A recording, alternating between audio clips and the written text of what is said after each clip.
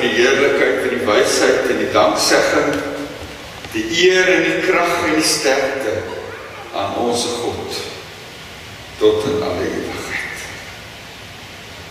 Amen. Met wanneer genade vir en vrede van God ons Vader, van Jesus Christus ons Here en van die Heilige Gees. Ons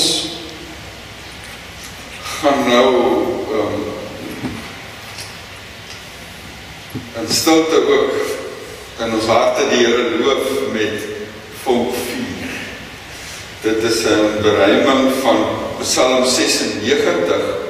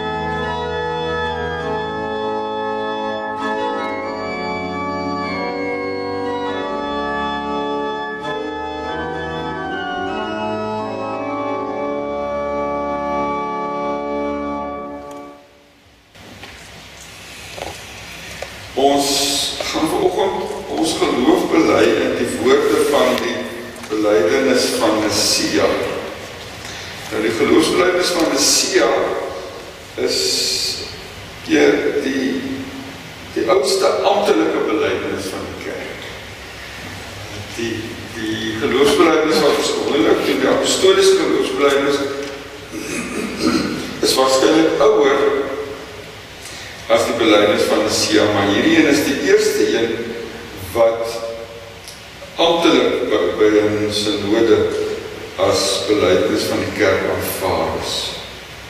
So ek wil vra dat julle sal opstaan terwyl ek hierdie belydenis lees.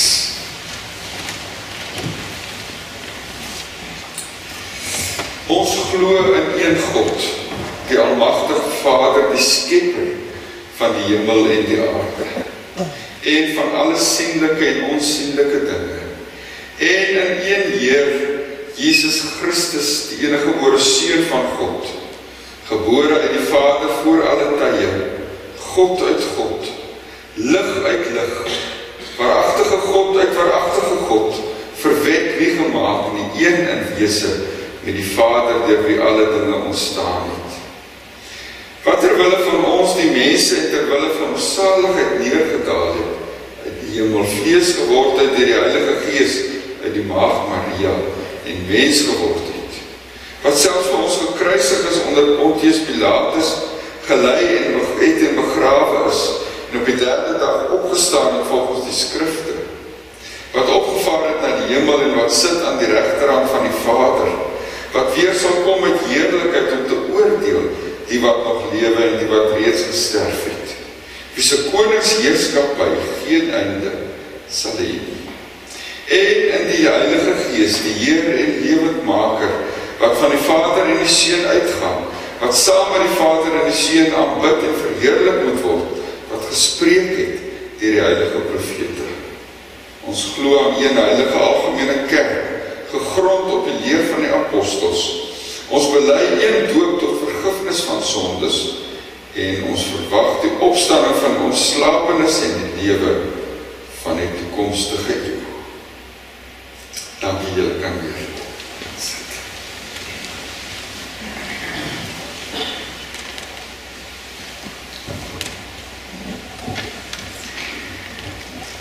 Kom ons, bid saam.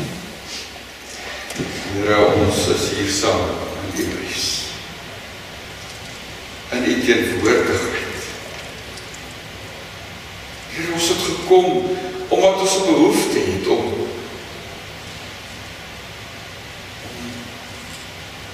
saam met ander vir U te aanbid.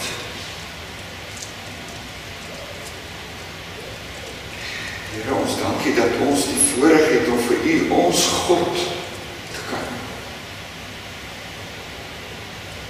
Ons hemelse Vader. Ons verlosser en leidsman.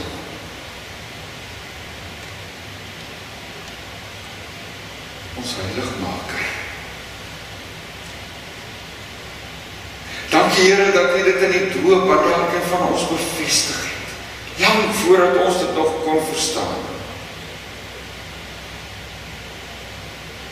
Dat die elke dag met ons besig is. Here, ons ons prys U daarvoor. Ons prys U vir U genade en U liefde wat vir ons genoeg is.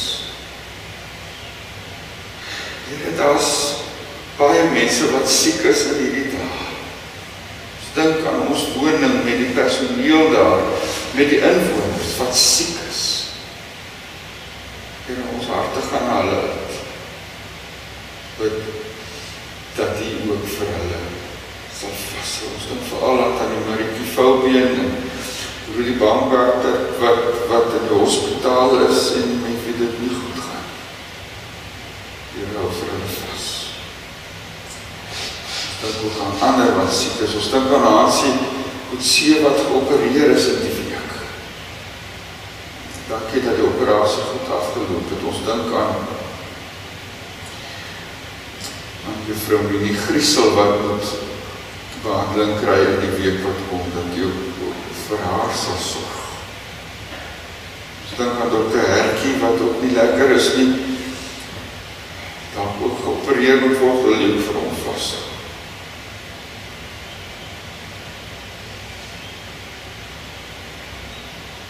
ons kom buig voor u saam met ons hele land oor die oor die geweld die vreedaardigheid in ons land. Mense se lewens het goedkoop geword hier dit lyk vir ons asof die duiwel in mense ingevaar het.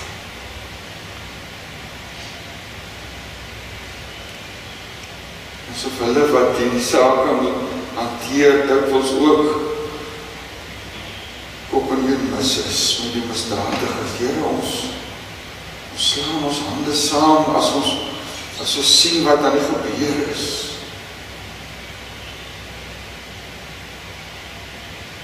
Dit sien bewaring vir ons boere, Here. Wat 'n vrees lewe en wonder wanneer is dit hulle beurt? Ons bid vir die polisie, Here, vir die wil om hierdie saak om te vat. Ons bid vir ons regering en vir die politieke wil om plaasgeweld stop te sit. Here, ons wens ons president wil iets sê.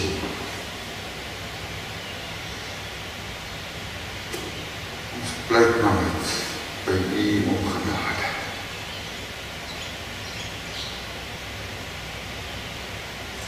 Here ons bid vir ons kinders wat in die skool is en eksamen skryf. Onderwysers wat dikwels bang is om klas toe te gaan omdat hulle in 'n kwesbare ouderdomsgroep is of ander siektes het. Here, ons bid vir die hele onderwysstelsel.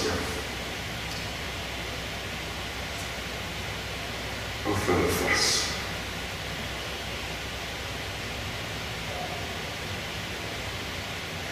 En nou bid ons Here dat U ook vir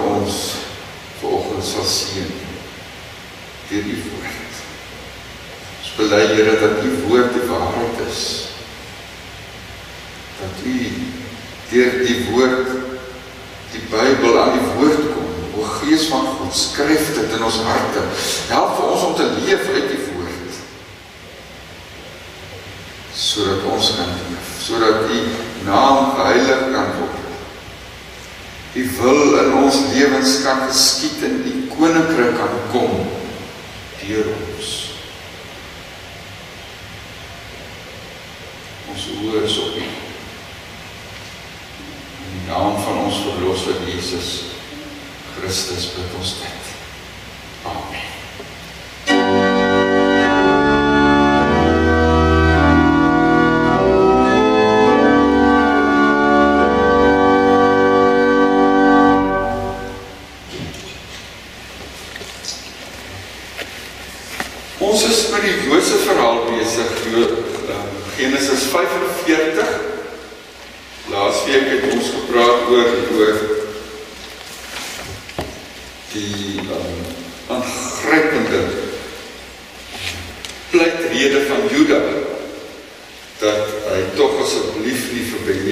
Sal agterhou nie want hy sê hulle pa sal dit oorleef. En dan lees ons hoofstuk 45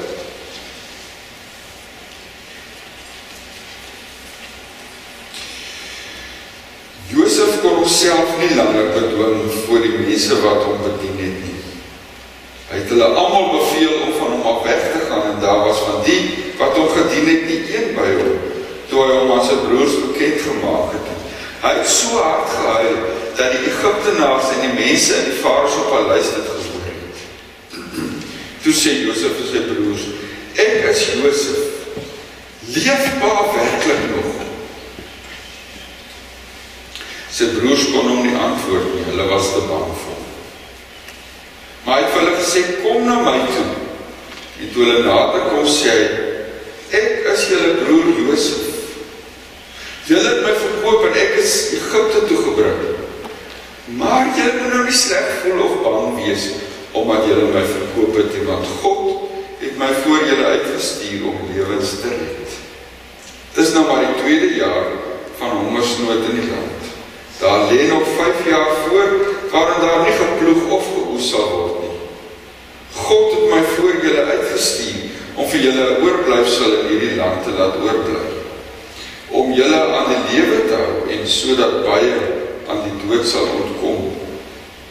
Dis nie julle wat my hierheen gestuur het nie, maar God. Hy het my laat aanstel as die Farao se raadgewer en as bevelhebber oor sy huis en as regerder oor die hele Egipte gaan dadelik na pa toe en sê vir hom, so sê pa se seun Josef. God het my aangestel as regerder oor die hele Egipte. Kom na my toe. Talm nie, kom bly in die Gosenstreek. Dan is pa naby my. Pa en pa se seuns en kleinseuns, die kleinvee en grootvee en alles wat pa besit. Ek sal vir pa daar onderhou. Want daar lê nog 5 jaar hongersnood voor. So sal pa nie verarm nie. Pa en pa se familie en almal by pa.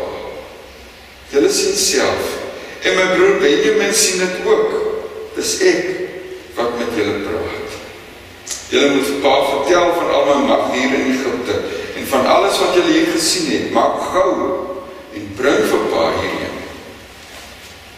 Toe mels Josef sy broer Benjamin en hy ook Benjamin het op sy broer se skouer gestaan en hy. Josef het al sy broers gesoen en daar by hulle gestaan en hy. Eers daarna het sy broers met hom begin praat. Die mense het dit in die farao se paleis gehoor en gesê Josef se broers het gekom. Die farao het sy amptenare dit goed gevind en hy het vir Josef gesê sê vir jou broers so moet julle nou optree. Saal julle rydiere op en gaan Kanaan toe.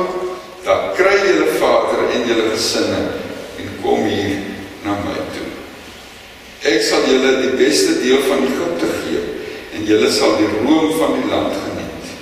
Julle moet jy moet hulle beveel, so moet julle optree. Vat vir julle uit Egipte waans saam vir julle kinders en vrouens en laat julle vader op 'n waar ry en kom hierheen. Moenie sleg voel oor wat jy nie kan saambring nie, wat jy hier sal kry. Want jy sal hier die beste kry wat van wat Egipte het. Die seuns van Israel het so gemaak. Josef het waans vir hulle saamgegee, soos die Farao beveel het. Josef het ook vir hulle padkos saamgegee. Hy het vir elkeen nuwe klere gegee, maar vir Benjamin het hy 5 stelle nuwe klere en nog 3.5 kg silwer gegee. Vir sy pa het hy 10 donkies gestuur waarop die beste ware van Egipte gelaai was en 10 donkiemerries waarop die beste koring en graan en kos gelaai was. Dit moes die naspak kos vir sy pa. So het Josef sy broers teruggestuur. En by hulle vertrek het hy vir hulle gesê: "Moenie laat die pad bang word en begin twyfel nie." Hulle stoot uit Egipte weg en het in Kanaan by hulle pa Jakob aangekom. Hulle het hom gesê: "Josef leef nog. Hy regeer oor die hele Egipte." Jakob was stom geslaan. Hy het hulle nie geglo nie. Toe vertel hulle vir hulle pa alles wat Josef hulle gesê het. En eers toe hy die waan sien wat Josef gestuur het om hom te kom haal, het hy begin belangstel. En hulle pa Israel het gesê, ek verlang niks meer nie. My seun Josef leef en ek wil hom net sien voor ek sterf. Dis die woord van die Here volg. Ek wil oor hierdie hele hoofstuk ehm um, vanoggend 'n paar woorde sê. Ek lees weer vers 5 waar Josef sê maar julle moet nou nie sleg voel of bang wees omdat God julle omdat julle my verkoop het want God het my voor julle uitgestuur om lewens te red. God het my voor julle uitgestuur om lewens te red. Hoe werk versoening? Dis nou as twee partye vir mekaar kwaad is of of daar spanning tussen hulle is en en die spanning word ontlont en die strydpyle word begrawe soos Josef en sy broers hier in Genesis 45. Hoe gebeur dit? Hoe kry mens dit reg om om om weer by mekaar uit te kom? Hoe kry jy en ek dit reg om iemand te vergewe wat jou diep seer gemaak het.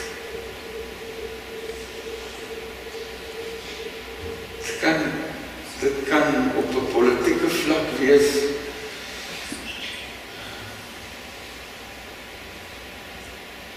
Dit kan tussen bure wees. Dit kan by die werk wees, dikwels ook in familie. Waar mense mekaar seer kan maak. Hoe kry jy reg om daar vyf by te kom en aan te gaan en te vergewe? As ek nou die Bybel geskryf het nou, God dank is nie my werk gewees om die Bybel te skryf. Maar as ek dit dan beskryf het, so ek daarom voor Josef vir sy broers sê, moenie bang wees nie en en en um, kom ons kyk vorentoe en so uh, So ek daarom 'n stukkie ingesit het waar die broers voor hom neergeval het en sê Josef ons is jammer. Ons is jammer. Vergewe ons asseblief. Maar daar staan niks hiervan nie. Hulle sê aanvanklik ook nie 'n dooie woord nie. Eers later in die hoofstuk lees ons ehm um, dat dat die broers weer met hom begin praat het. Hulle hulle was so verskrik dat hulle maar net daar gestaan het. Ja, dis eers jare later, onder wat is hy 17 jaar later. Toe Jakob al dood is, dat hulle vir Jakob kom, ag vir Josef gaan sien of ons vir Josef ons is jammer.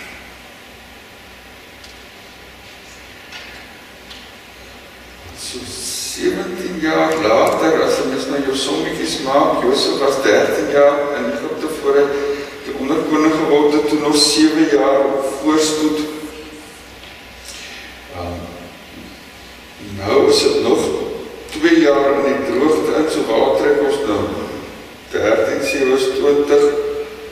28, 29 jaar, 29, 30 jaar seker nou al. Nog 17 jaar by, 47 jaar. Wag Josef. Dis sy broers se berou. Of dat hulle dit minstens verwoord. Dis eintlik hoe ons dink oor oor vergifnis nie nie waar nie.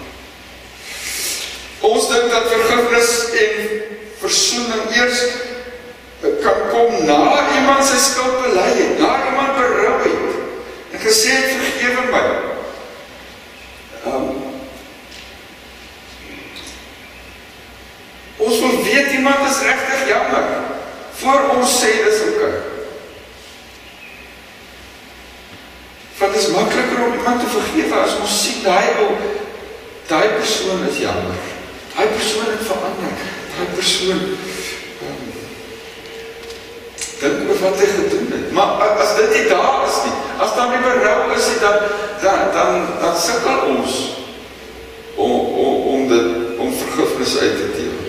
Dis hoe ons dink oor vergifnis en berou. Dis hoe ons in in ons godsdiens ehm um, oor vir God se vergifnis dan mense sal jou sê as jy vra wanneer vergewe jy vergewe God jou dan sal hulle vir jou sê as jy jou sonde bely. Nou daar is natuurlik iets in. Maar dan sit jy nou met 'n dilemma nê want want wat nou van die sondes wat jy nie bely het nie.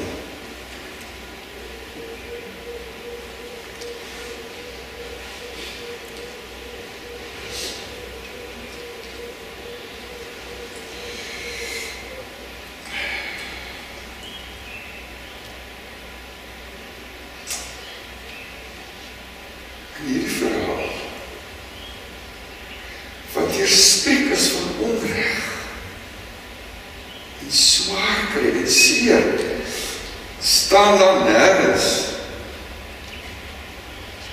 dat die broers jammer sê soos ons in die gelykenis van die verlore seun kry. Gelykenis van die verlore seun kom hy pa terug en hy sê pa ek het voor teen God en teen my pa gesondig. Dit lees ons nie hier nie. Die broers se verhouding met Josef word herstel nadat hulle gesê het hulle is jammer.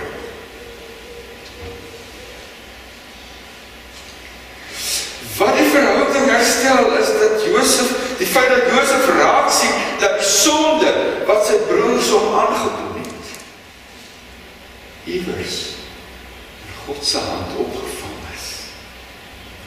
En God het ingespan het om daar iets goeds te laat gebeur sê dat die sonde skielik niks is nie. En dat die broers blaamloos is nie. As jy die verhaal weer deurlees, dan sien jy hoe aaglik dit is. Die seer bly maar net seer. Die stikkendheid bly maar net stikkend. Dis iets van wat wat hulle almal verander het. Josef huil so hard dat die farao dit in die paleis hoor. Sonde, is sonde, is sonde. En ons kan eers regtig verstaan hoe erg sonde is. Wanneer 'n ander broer ons broer moet oorvee het sy lewe betaal aan die kruis vir sy broers vir julle vir my so kon Josef het recht kry as sy broers nie vir hom sê ons is jammer vergewe ons hoekom wacht hy nie tot hulle dit sê nie die geheim leer in vers 5 en vers 8 kom ons lees dit weer Hy sê, Josef sê, julle moet nou nie sleg voel of bang wees omdat julle my verkoop het nie, want God het my voor julle uitgestuur om lewens te red. En vers 8 sê hy, dis nie julle wat my hierheen gestuur het nie, maar God. Daarmee sê Josef nie dat skuld het en dat hulle nie 'n aandeel het in in sy ellende en pyn van die afgelope jare. Maar hy sien dat God ondanks hulle sonde ten spyte van hulle sonde sy wil bereik het. God het die kwaad wat hulle hom aangedoen het om iets goeds te laat word. En dit is moeilik om om om om dit te hanteer. Paulus skryf ons ook daarvan in Romeine 8 vers 28 waar hy sê God laat alles ten goeie meewerk vir die. In God se genade word dit wat aan ons kant toe kom op 'n manier wat ons nie verstaan nie iets goeds. Verander jou.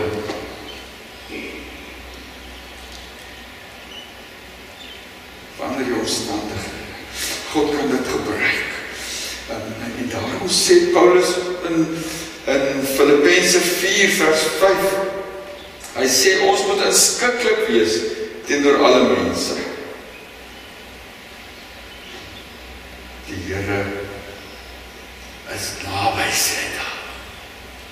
Omdat die Here naby is, omdat hy vir jou sorg, omdat hy dit wat aan jou kant toe kom ten goeie laat meewerk.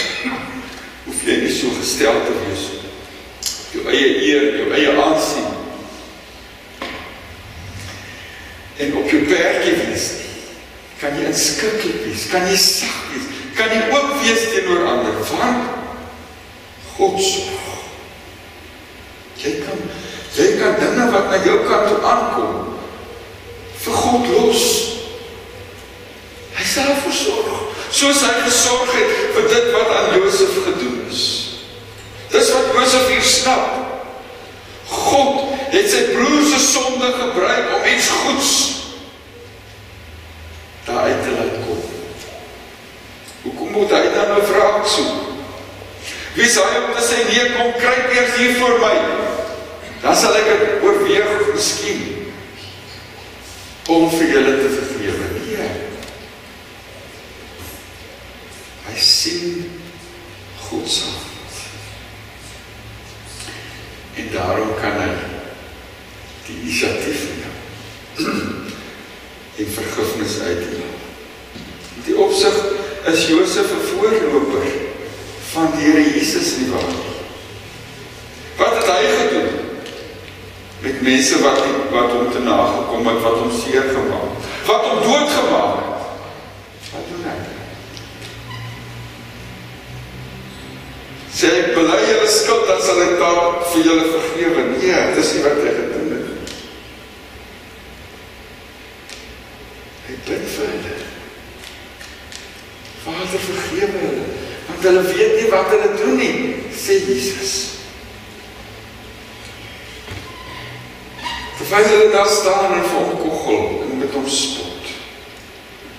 Maar selfs voor dit lank voor hy gekruisig is, Lang voordat ons eers besef het dat ons sondaars was en is, het Jesus al gekom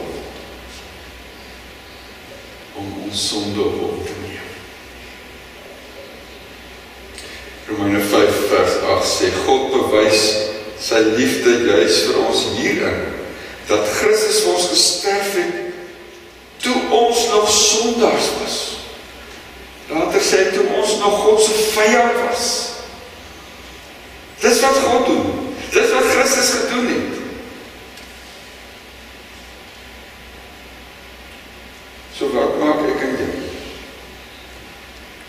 As iemand vir ons te nakom, ons seer maak. Ons kwaad aandoen. Sê hierdie hoofstuk in en en eintlik maar die hele Bybel reg verstaan. Beteken dit dat ek dan vir myself moet sê in God se hand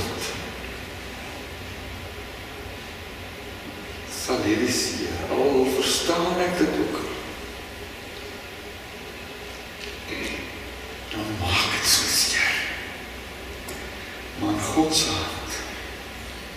Glo ek dat hy daar uit iets goeds kan laat kom. Hier wat ek nie begryp nie. Ook meewerk ten goeie. Daarom kan ek vergewe.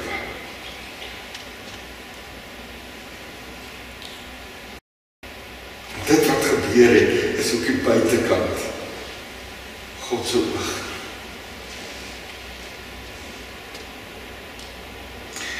Dit vra natuurlik dat ek met trots in my sak steek. Dit is hoekom ons dikwels vergelding soek. Soos in ons eer gekry. Ons is te nagekom.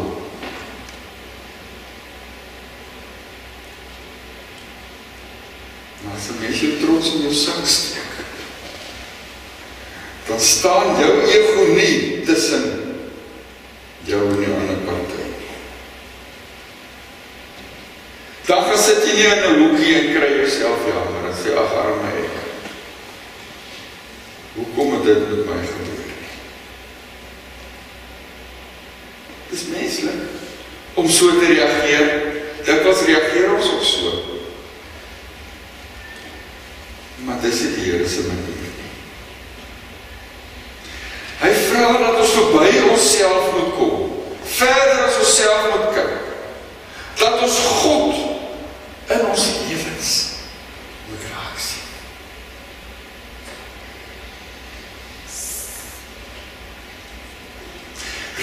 Hoe met ons besig is en besig bly ondanks die seer. En self deur die seer wat ons aangedoen word. Daarom kan ons ons arms om mekaar oopmaak. Mekaar vergewe.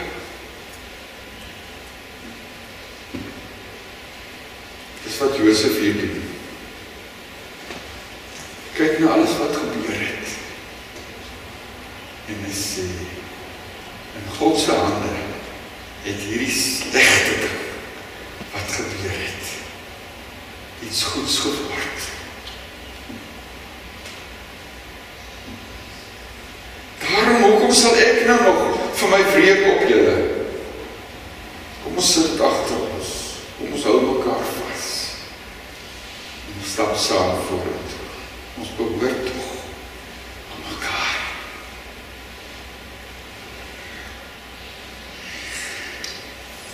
Ag die Here vir jou en vir my help.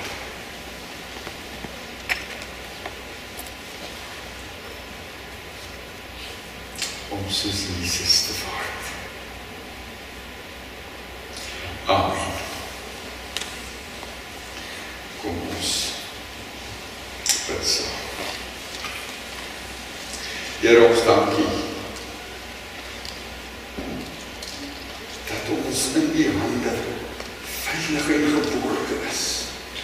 Wat ook al met ons gebeur.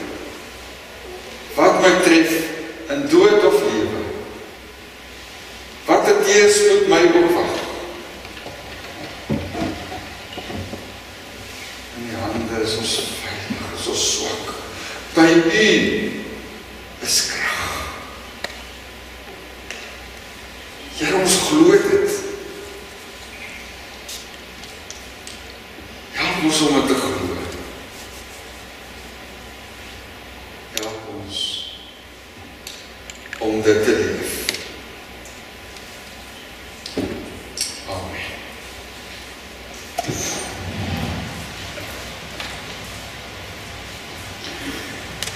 Ek het nou al meer as een keer verwys na na wat Paulus gesê het. Kom ons lees ook wat hy skryf in Romeine 13.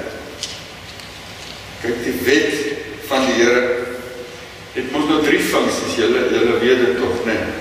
Daar's mos nou drie woorde wat ons almal uit ons kop moet ken. As iemand vir jou vra waaroor gaan gaan gaan die lewe voor God, dan is dit dan daar drie woorde wat moet uitspring. Dis wat die wat hoe die Heidelbergse katekismes ook ook opgestel het. Sonde, verlossing, dankbaarheid. Die eerste vraag van die katekismus is wat is jou enigste troost dat ons daai pragtige antwoord dat ons in lewe sterwe nie onsself maar ons troue saligmaker Jesus Christus behoort hy behoort hy bewaar maar op so 'n manier dat sonder die wil van ons hemelse Vader nie haar van my hoof sal val nie. Ehm um, en hy lei my deur die Heilige Gees. Dis die dis die eerste vraag en dan die tweede vraag. Hoeveel dinge moet jy weet om in hierdie troos, net dat ek aan die Here hoop, om in hierdie troos salig te kan lewe en sterwe. En dan sê die katekismus jy moet drie goed weet. Jy moet weet hoe groot jou sonde en ellende is. Jy moet weet hoe jy van jou sonde en ellende verlos kan word. En jy moet weet hoe jy dankbaar kan wees vir die verlossing. Ja, sonde, verlossing, dankbaarheid, dis die drie woorde wat ons almal ingegraveer in ons harte moet hê. Nou, nou die die wet van die Here werk ook met hierdie drie um, aspekte. In die wet leer ons wat sonde is. Daarom lees ons dikwels die wet en na die wet ons na die wet geluister het dan bely ons ons skuld voor die Here, nee, dit dis mos amper die die algemene gebruik van die wet, wet in die liturgie. Die tweede reël van die wet, dit is dan hoekom ons ons skuld bely. Die wet is die sê die katekismus die die tugmeester na Christus die omdat jy jou sonde ontdek in die wet terug dryf dit jou lei dit jou om, om by Christus uit te kom om verlos verlossing te ontvang maar die derde deel van die wet is die die dankbaarheid hoe kan ek die Here dankie sê daarom is die wet die die riglyn vir 'n dankbare lewe en dis hoekom ek nou wil wil wil um, Romeine 13 lees waar waar waar Paulus ons vertel hoe ons kan leef as dankbare mense, mense wie se lewens soos ons nou op net weer gehoor uit die mond van Josef opgevang is in God se sorg. Hoe leef ek dan? Julle moet niemand iets verskillig wees behalwe om mekaar lief te. Wie sy medemens liefhet, voer die hele wet van God uit. Al die gebooie. Jy mag nie egbreek pleeg nie, jy mag nie moord pleeg nie, jy mag nie steel nie, jy mag nie begeer nie op watter ander gebod daar ook al is. Word dan mos in hierdie een gebod saamgevat. Jy moet jou naaste lief hê soos jouself.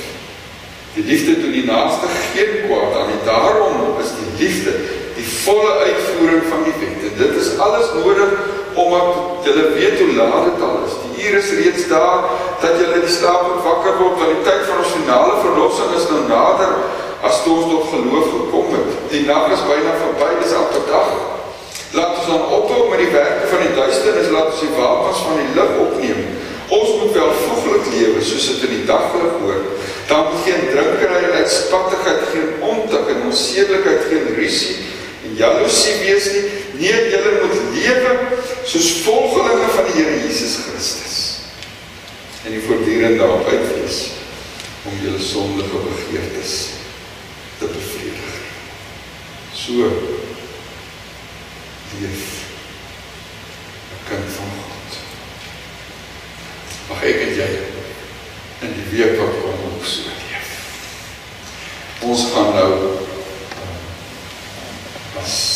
slot nadink en in ons harte die 271 bid Heilige Jesus wat my lewe wil